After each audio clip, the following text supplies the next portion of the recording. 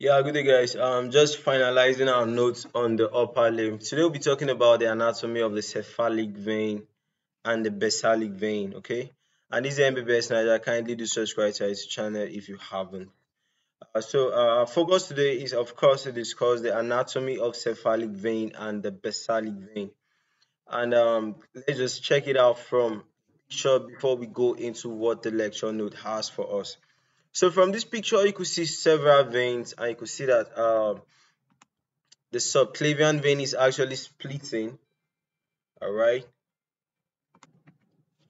So you can see from here, you can see that um, the subclavian vein is actually like splitting, okay, to give um, the cephalic vein that's on the lateral side, okay.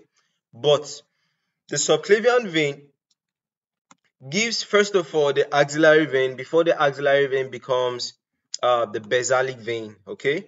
Before the axillary vein becomes the basilic vein. And the basilic vein is on the medial side okay? So i think this is uh, just i think the last thing we need to grab from this picture is the median cubital vein okay? I could see that the median cubital vein uh, is connecting the subclavian vein and sorry, is connecting the cephalic vein and the basilic vein, okay? So this is the median cubital vein right here, okay?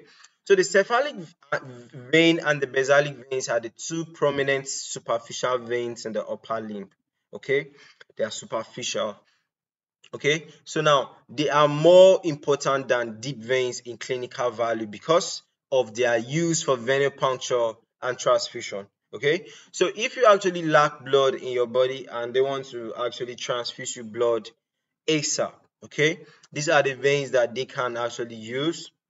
They can use either cephalic vein or basilic vein or, or use uh, the median cubital vein which links the two veins together okay? So right here too you could see uh, the basilic vein on the medial side and the cephalic vein on the lateral side okay so now, um, connecting the cephalic veins and the basilic vein just distal to the front of the elbow is the median cubital vein, which I already told you guys. You see the median cubital vein right here, okay? Now, let's talk about uh, the cephalic vein. And the cephalic vein, it is a preaxial vein of the upper limb. Uh, it can be readily exposed for an emergency cut down just posterior to the um, radial styloid, okay? Uh, can be readily exposed for an emergency cut down in the decto pectoral groove okay?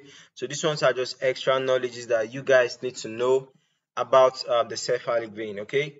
But most importantly uh, for the anatomy of cephalic vein and basilic vein you know that the cephalic vein is on the lateral side while the basilic vein is on the medial side okay? And the vein that is actually joining these two veins together just in front of the elbow is the median cubital vein all right?